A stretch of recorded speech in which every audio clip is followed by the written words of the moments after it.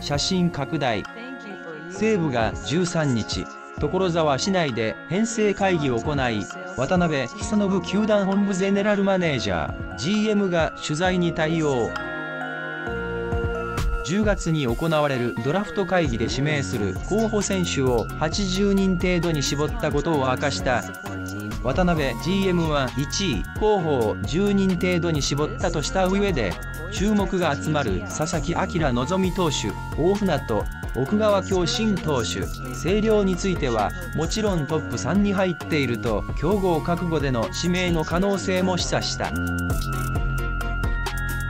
コンディションの面で不安が残ると言われている佐々木については評価は変わりようがないとし甲子園準優勝投手の奥川については高校ビッグ4と呼ばれた中で甲子園にチームを連れてきた投手は彼だけと実績を評価していた。2014年から5年連続で投手を1位指名している西武。渡辺 GM は最終段階ではないが基本投手ということになる。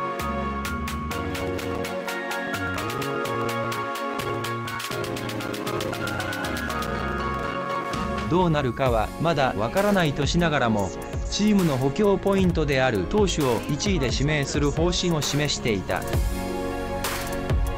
安藤要美金宮